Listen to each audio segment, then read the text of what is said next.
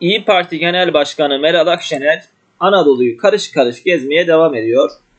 Kayseri ziyareti öncesi Yozgat'ı ziyaret etti ve Yozgat'ta İyi Partili belediye başkanıyla bir araya geldi.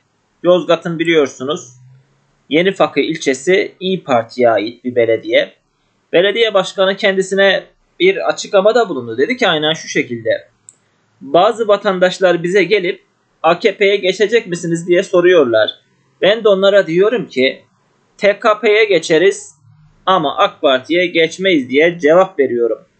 Meral Akşener de bunun üzerine İyi Partili Belediye Başkanı Yalçın'a şu açıklamayı yaptı. Ben de alıştım artık. Siniri bozulan kaş göz işareti yapıyor. Böyle bir sistem bu. Bu parti kurulduğundan bu yana ben yaşadım. Sizler de yaşayacaksınız. Dolayısıyla böyle bir şey yok. Ben kendi adıma da söyleyebilirim ki böyle bir şey yok. Kesinlikle yoktur. Yani AKP ve MHP ittifakı arasında yer alan Cumhur İttifakı'na İyi Parti'nin, Meral Akşener'in katılmasının imkanı yok. Böyle bir şey olmayacak.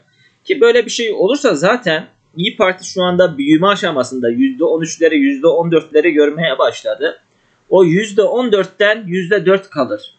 İyi Parti Millet İttifakı'nı bırakıp da tıpkı MHP'nin yaptığı gibi Cumhur İttifakı'na katılırsa %14'ten %4'lere düşer. Sandıkta bedelini ağır öderler. Ama Meral Akşener de zaten böyle bir şey yapacak birisi değil.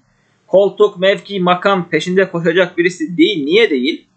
2015 yılında bir seçim olacaktı, erken seçim ve orada bir seçim hükümeti kurulacaktı. Bakanlık teklifi yapılmıştı bazı isimlere. Deniz Baykal'a, Meral Akşener'e ve Tuğrul Türkeş'e. Tuğrul Türkeş MHP'yi bıraktı gitti bakan oldu. Daha sonra AKP'den Ankara milletvekili oldu. Ama Meral Akşener o bakanlık teklifini kabul etmedi. Deniz Baykal o bakanlık teklifini kabul etmedi. Kaldı ki Meral Akşener'in de Cumhur İttifakı'na katılması gibi bir durum söz konusu olamaz. Birçok belediye Millet İttifakı tarafından kazanılmış, Millet İttifakı yükselişe geçmiş.